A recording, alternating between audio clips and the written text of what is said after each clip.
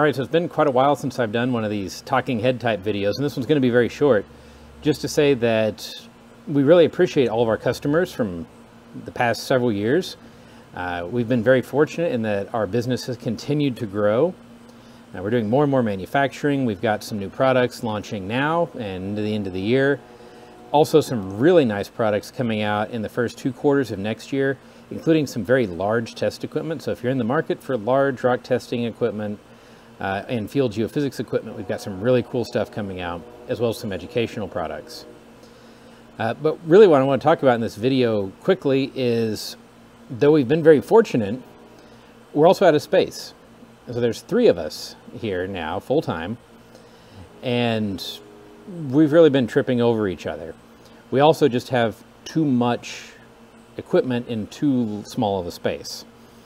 Now the shop is not incredibly organized right now because of that, and we're losing a lot of productivity just because we're tripping over each other. We're having to try to find things or take all this equipment that we're working on, put it away um, in almost deep storage just to be able to go on to the next project. Uh, so I want to do a real quick walk around. Again, the shop's very messy right now, but to show you sort of what the situation is, and hopefully we're going to have some good news on being able to alleviate the space crunch here in the next few weeks. So this is the view when you first walk in the shop right now. Now you're immediately faced with shelving, and we've got tables and poster signs, and a lot of this is related to, we've been doing some uh, live markets, like maker's market type things with our educational products for the holidays. Uh, so that's what a lot of this is. But back in the corner over here, we still have our router that we use for foam. Sweeping around, we've got our incoming outgoing shelf. Air compressor with a refrigerated air dryer. That's a relatively new additions, the air dryer.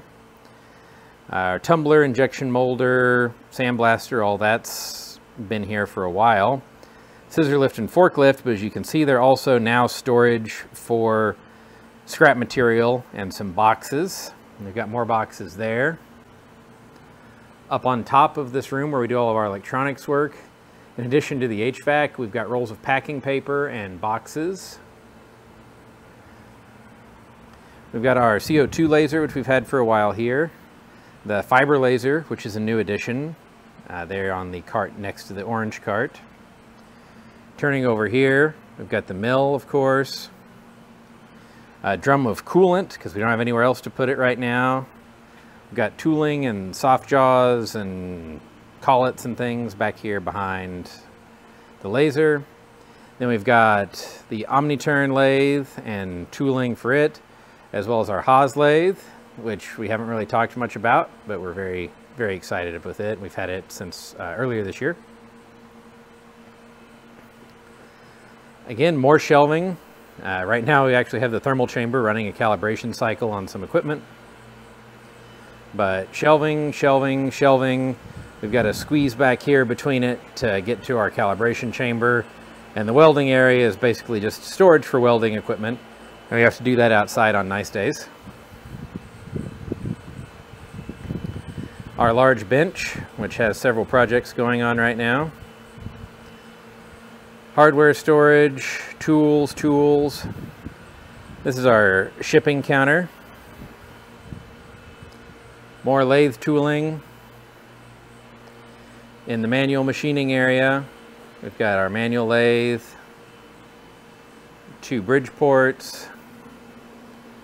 This is a tooling cabinet that we recently built for all kinds of end mills, cutters, uh, vices, rotary tables. Flammables, there's some metal storage over here, some more storage, storage, storage, storage storage everywhere. Uh, there's a semi-trailer outside that also has storage in it. And then if we walk into our electronics area,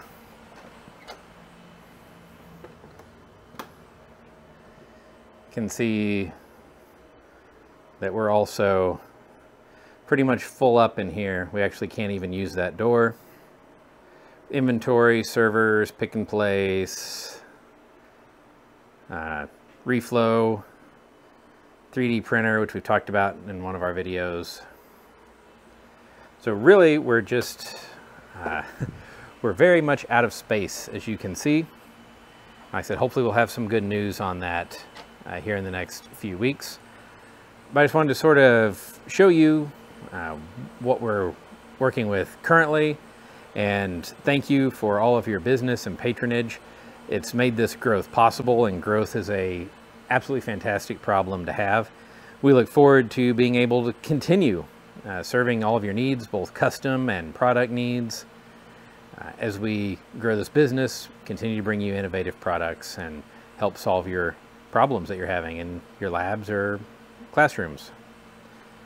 So thanks, and we'll talk to you on the next video, hopefully with some more exciting news.